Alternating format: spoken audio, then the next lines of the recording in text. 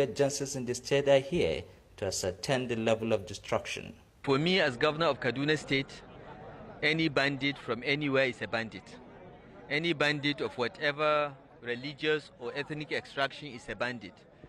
And in Kaduna State, we have zero tolerance for bandits. We don't give them amnesty. We don't negotiate with them. We have asked the security agencies to just wipe them out.